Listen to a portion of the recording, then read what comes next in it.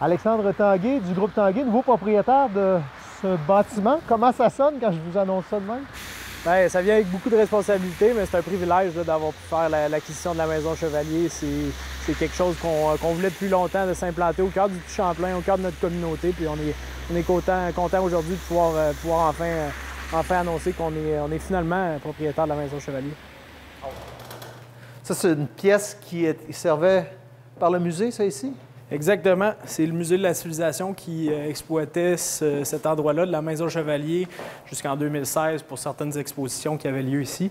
Donc, cette section-là, Alexandre, est inoccupée depuis 5-6 ans. En tout cas, le public n'y a pas accès depuis Absolument, 5, ans? absolument. On parle du secteur de la Maison Chevalier qui était occupé par euh, anciennement des expositions du musée. mais c'est ce qu'on connaît, le public, c'est ce qu'on connaît, à part les voûtes de la Maison Chevalier. Or, il y a tout un espace de bureau là, qui, que vous allez occuper maintenant. Absolument. C'est un peu méconnu du grand public. Par contre, la Maison Chevalier, à 60% est occupée par du bureau depuis de nombreuses années. Toute la section bureau, ce sera maintenant le groupe immobilier de. Oui, exactement. On parle de toutes les sociétés du groupe Tanguay, en majeure partie le, secteur immobilier du groupe Tanguay. Et euh, j'ai le bonheur de vous annoncer également que la Fondation Maurice Tanguay euh, euh, établira son siège social en, plein milieu de notre communauté, en plein cœur de la ville de Québec. Donc, à terme, là, on parle d'une trentaine à quarantaine d'employés qui vivront dans la Maison Chevalier puis qui occuperont la Maison Chevalier pour les, les prochaines années. vous n'êtes pas un organisme à but non lucratif. Le but, c'est de faire de l'argent comme toute entreprise. Or, que vous pourrez en faire avec ce bâtiment-là? Non, c'est pas pas l'objectif. L'objectif était vraiment d'implanter notre groupe en plein cœur de sa communauté, en plein cœur de la ville de Québec. C'était quelque chose qu'on recherchait depuis, euh, depuis quelques années, de s'implanter au cœur du Petit Champlain.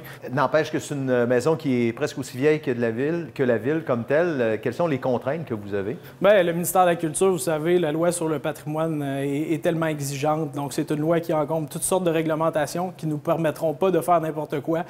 donc, tout ça va être chapeauté par le ministère de la Culture. Donc, les gens n'ont pas de, crainte à y avoir. La Maison Chevalier va rester la, Maison Chevalier telle qu'on la connaît depuis euh, des centaines d'années. Êtes-vous obligé de garder un aspect au public? C'est pas une obligation pour nous. Par contre, c'est une obligation morale qu'on s'est donnée. Les fameuses voûtes, il y a du commerce qui s'est fait ici à l'époque, pas mal. Beaucoup, beaucoup de commerce, beaucoup d'histoires. Euh, on dit que c'est le, cœur de, de l'Amérique, puis là où l'Amérique est née, c'est vraiment le cas. C'est le bijou de la maison? Voilà. Puis ça servira pas. Ça servira non, c'est pas le bureau d'Alexandre Tanguay qui va s'en venir ici. C'est vraiment un lieu qui va rester accessible au public, qui va l'être encore plus dans les prochaines années qu'elle l'a été dans les dernières années. Il y a eu des présentations théâtrales dans ces voûtes-là. Est-ce que c'est ce type d'activité-là qui va être maintenu? On parle de, ce type d'activité-là. Par contre, on a, on a, une idée derrière la tête. On pourra vous parler éventuellement. On parle d'un nouveau concept qu'on veut amener euh, dans les voûtes de la Maison Chevalier, un concept qui pourrait répondre aux, touristes de 2021, qui pourrait répondre aussi à la communauté de Québec. Par contre, des organismes comme le patrimoine vivant vont pouvoir continuer leurs activités à certains moments de l'année pour, euh, pour, faire, bénéficier de, euh, leurs activités au, grand public. Quand euh, on a su que c'était le groupe Tanguay qui achetait cette maison-là, vous avez été plongé dans, probablement malgré vous, dans une espèce de controverse est-ce que c'est un bon choix, le secteur privé, pour préserver un bâtiment comme celui-là. Comment vous l'avez perçu, vous, de, l'autre côté? Parce que vous avez été plutôt silencieux dans tout ça. Vous avez laissé le, politique euh, gérer tout Bien, écoutez, on ne fait pas de la politique dans la vie. On est des gens d'affaires, puis on croit que le niveau privé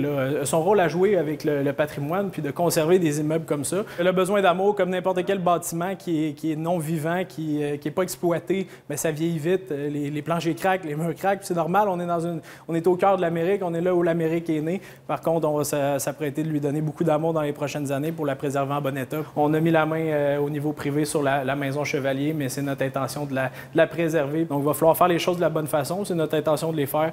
Donc, euh, chaque chose en son temps. Par contre, on espère pouvoir être prêt pour, euh, pour le début de l'été puis la saison touristique. Vous n'avez même pas encore choisi l'emplacement de votre bureau? Non, pas encore. Pas encore. Ça, ça, va venir, par exemple.